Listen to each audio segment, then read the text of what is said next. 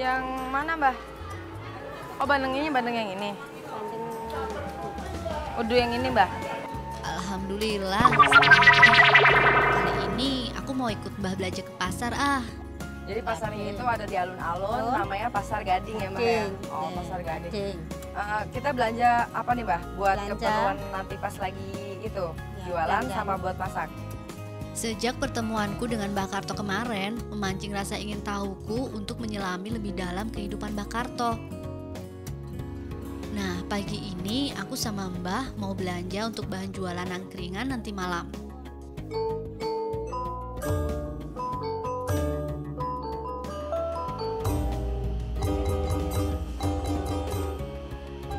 Ternyata walaupun masih pagi, aktivitas di pasar Gading ini sudah ramai.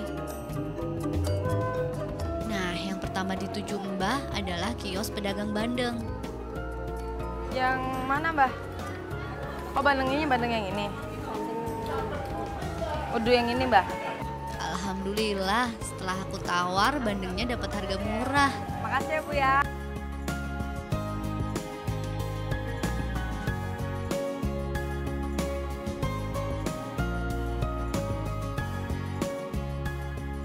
Mbah, beliau sudah langganan beli bumbu dapur di sini. Ojo larang-larang. 17 deh ya. Oke? Oke? Ya. Ya Bu ya, boleh nggak?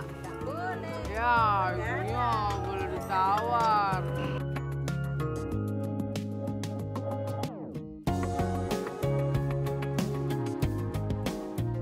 Oke ya. Ya, makasih ya, Bu. Belanjaan yang sudah kita beli langsung kita masak.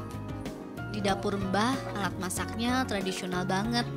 Hanya menggunakan tungku dan arang. Bandengnya dipotong kapan, Mbak?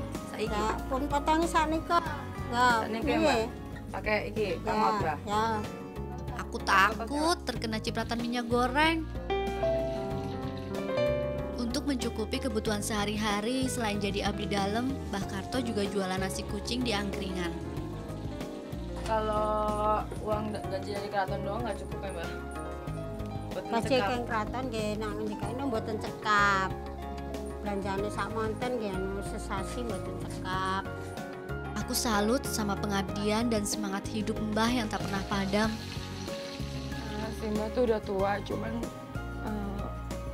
aku sedih gitu Mbak kalau ngeliat Mbak kan eh, tidurnya sendiri. Terus eh, kalau Mbak lagi sakit juga nggak ada yang ituin maksudnya. Paling anak datengnya Mbak.